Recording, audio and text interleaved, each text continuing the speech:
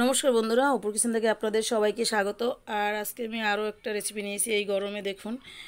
দেখলেই বুঝতে পারছেন, এখানে আমি নিয়েছি ঢেলা মাছ, নিয়েছি আলু, করলা, গোটা কয়েকটা কাঁচামরিচ নিয়েছি।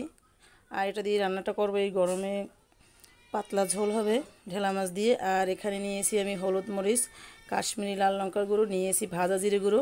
আর এখানে একটা গরম মশলা নিয়েছি, আমি অল্প একটু পরিমাণ ব্যবহার করব, দিয়েছি লবণ। তো এখন আমি রান্নাটা শুরু করব।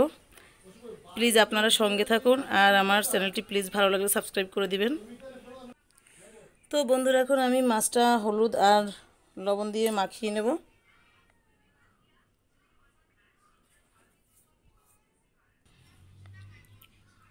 দুই চামচ দাও। দিয়ে দেবো হলুদ, দুই চামচ পরিমাণ দাও। বন্ধুরা, এবার মাছটা ভালোভাবে আমি মাখিয়ে নেব। মাছটা আমি মেখে নিয়েছি, এবার আমি তেলে ভেজে নেব ভালো করে। তো বন্ধুরা, আমি গলায় বাইতে যাচ্ছে। কড়াইটা বসিয়ে দিয়েছি, গরম হয়ে গেছে। এবার আমি মাছগুলো ভালো করে ভেজে নেব।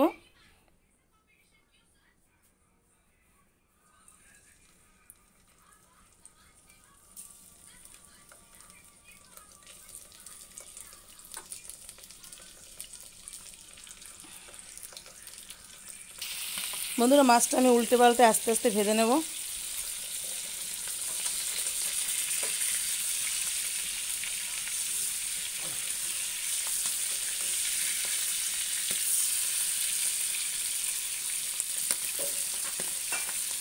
আর একটু হবে, এখনও হয়নি। এত গরমে যারা তেল মশলা খেতে পছন্দ করেন না, তারা এরকম রান্না করে খেতে পারেন। অবশ্যই ভালো লাগবে খেতে।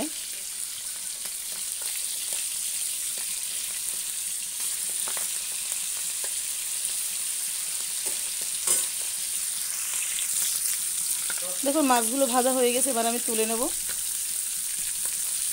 অভ্র!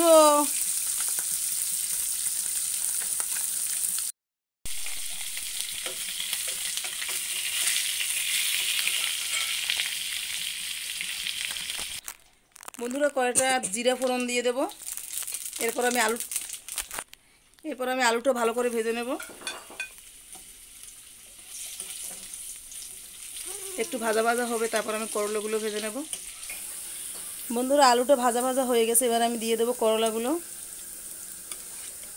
আর যারা তিতেটা খুব পছন্দ করে না, তারা ইচ্ছে করলে করলা সিদ্ধ করে একটু জল ফেলে দিতে পারেন, তাহলে একটু তিতে কম লাগবে।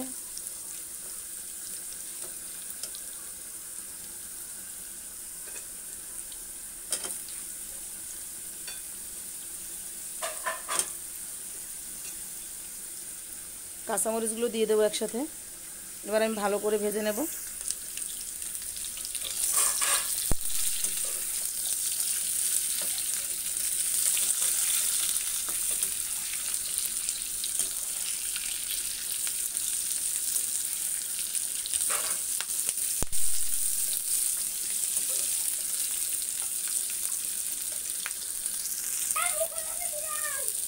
বন্ধুরা দেখুন করলা আলুটা আমি ভালো করে ভেজে নিয়েছি এবার আমি দিয়ে দেব হলুদ আর মরিচ গুঁড়ো। দিয়ে দেব হলুদ মরিচের গুঁড়ো।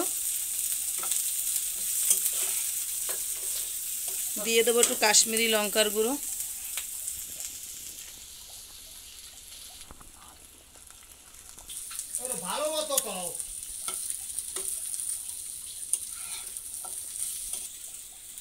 দিয়ে দেব পরিমাণ মতো লবণ।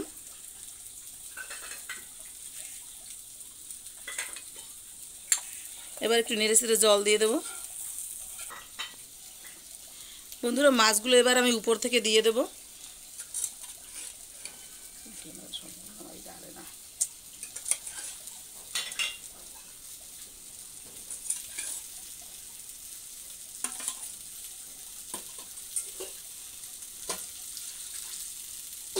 দিয়ে দেবো পরিমাণ মতো জল। এবার আমি বিশ মিনিটের মতো এটা চাপা দিয়ে রেখে দেবো। ফিরে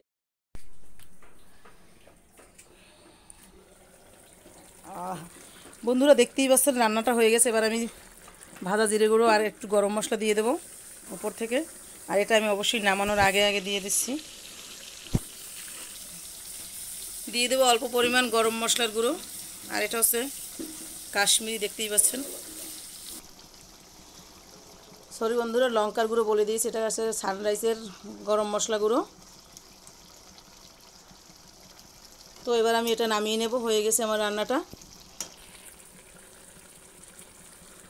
ঝোলটা আপনাদের পছন্দ অনুযায়ী নেবেন। আমার যতটা দরকার ততটা আমি রেখে দিলাম। খুব বেশি ঝোল রাখিনি, যতটা দরকার। আর সানরাইসের গরম মশলাটা দিলে তো এমনিই খেতে ভালো লাগবে, অবশ্যই। তো এবার আমি এটা নামিয়ে নেব।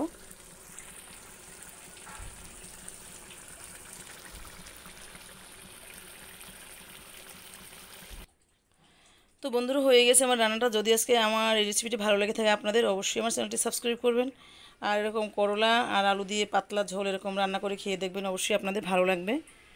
তো এই গরমে আরেকটা কথা, রান্নার মাঝে বা কথার মাঝে ভুল ত্রুটি থাকতে পারে, অবশ্যই আপনারা সেটা মার্জনীয়ভাবে দেখবেন আর সম্পূর্ণ ভিডিওটা দেখবেন। তো ভিডিওটা দেখার অনুরোধ রইল, আর সবাইকে ধন্যবাদ।